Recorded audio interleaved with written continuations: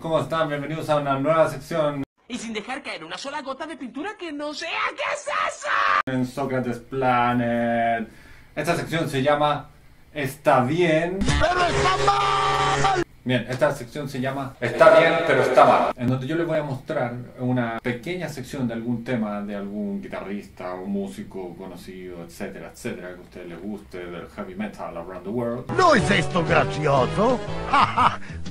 ¡Pero estás mal! Y les voy a mostrar cómo en los libros oficiales de partitura aparece una cosa, pero en realidad el músico está tocando otra cosa. En el caso de hoy vamos a ver un tema que estaba tocando al principio del Ingui Malmsteen, que a propósito no se dice Ingui, pero nosotros le vamos a decir Ingui porque somos pesados. Ese tema, Trilogy Suite, y les voy a mostrar la parte del, donde hace unos arpegios, que en realidad hace unos sweep pickings, pero lo hace distinto como aparece en la tablatura partitura, tablatura, partitura, en el libro oficial. En la partitura, tablatura, como les voy a mostrar aquí en alguna parte de la pantalla, mm, ¿en qué parte de la pantalla les muestro? Como les voy a mostrar acá en la parte de arriba de la pantalla, lo que dice que hace es esto.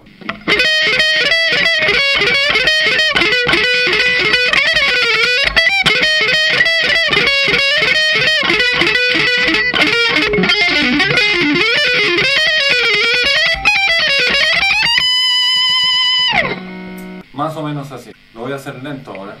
Aunque en realidad no sé qué objeto tiene eso porque esa partitura está, partitura, tablatura está toda mal escrita. Pero lento es más o menos así lo que sale escrito en la partitura tablatura.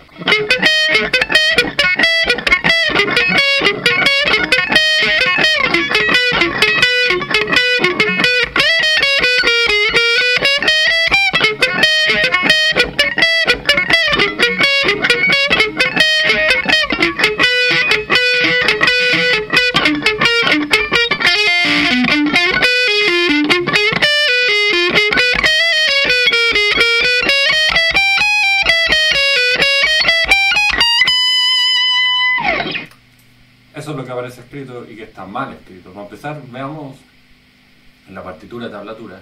Dice, por ejemplo, en el primer compás, o sea, empezando por el primer compás, ya está mal escrito porque en la tablatura aparece esto,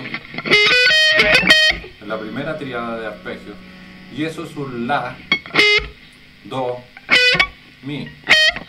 Pero en la partitura, como pueden ver ahí, dice Do, Do, Mi bemol y Sol. Nada que ver, no es eso. Y después la segunda, eh, en, la segu- en el segundo arpegio, aparece esto escrito en la tablatura.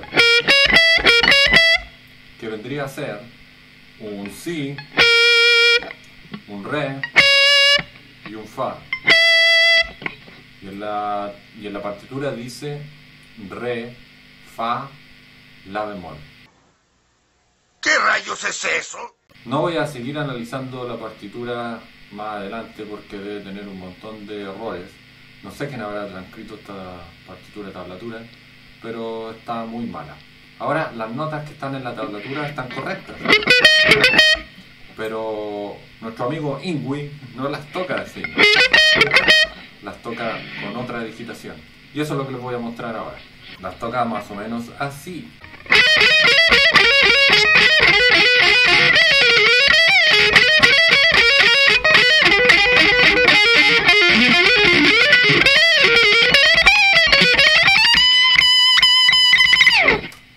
Algo así. Discúlpenme, pero yo no soy el Ingui.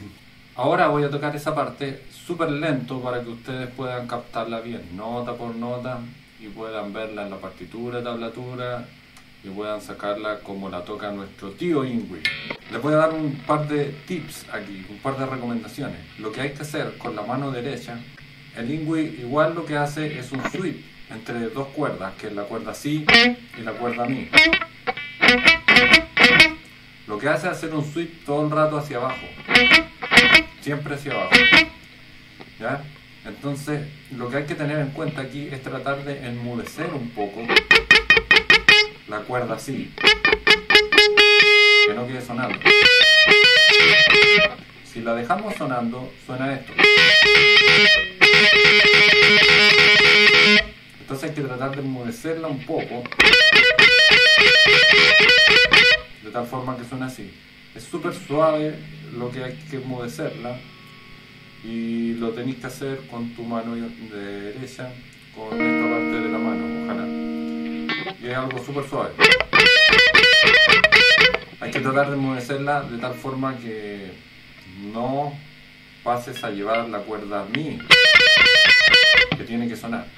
Entonces lo que él hace es esto, en un la, en la segunda cuerda, décimo espacio, y después toca hacia abajo, sweep, un do en la primera cuerda, y después hace un ligado un mi en la primera cuerda, o sea, así.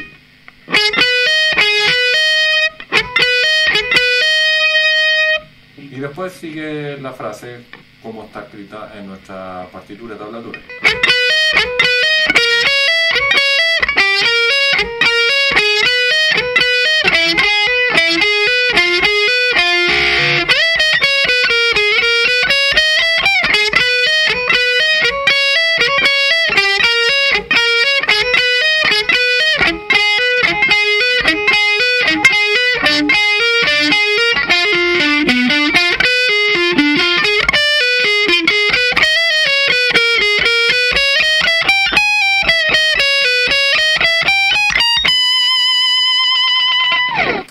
Eso es lo que hace de forma lenta.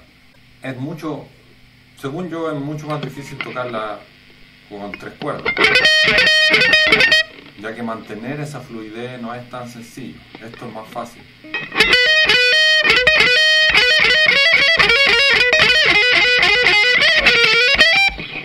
Y recuerden siempre la regla de oro.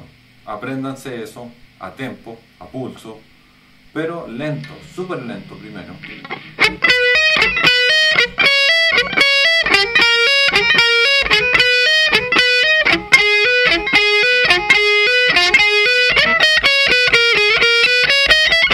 Y después van incrementando la velocidad. Si no, se van a volver locos ahí. Lo otro que tienen que hacer es preocuparse bien, escoger bien la digitación de su mano izquierda. Eso es algo esencial a la hora de hacer esto, este tipo de punteos tan difíciles. Les dejo un video por acá para que vean cómo digitar con la mano.